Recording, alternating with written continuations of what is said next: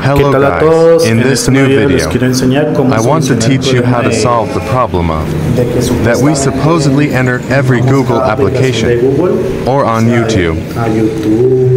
to the Google application itself and then appears to us. that we connect to the internet or that we make sure that he is with, that we are connected to the Wi-Fi, and then, well, we have good internet and all that.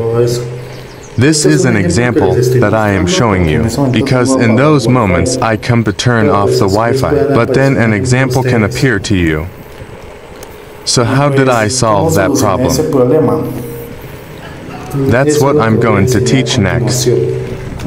First of all, we go with that. Vamos a ing- Let's directly enter the directamente en los settings, and we go in the part where it says accounts, which obviously in my case, well, in the Xiaomi it will appear as synchronized, but in the part of you accounts will appear. Once there you enter Google. Directly, in your mail you give him the three points, which obviously will appear at the top. And once there, we have to delete our Google account. The next step, the next step is in reset apps. Let's go to the part where it says applications. And obviously when we are there, we are going to give it the three dots where it says show system apps and let's search Google. Once there we have to give it Google Play service. Servicio de Google Play. Let's go to the part where it says clean data Limpiar datos. and from there we go where it says manage slowly. Once there we have hit the button where it says delete all data.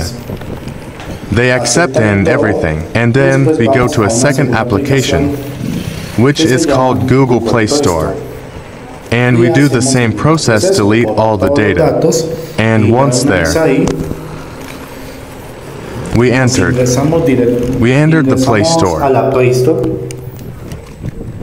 And obviously, well, you already put your Google account and all that.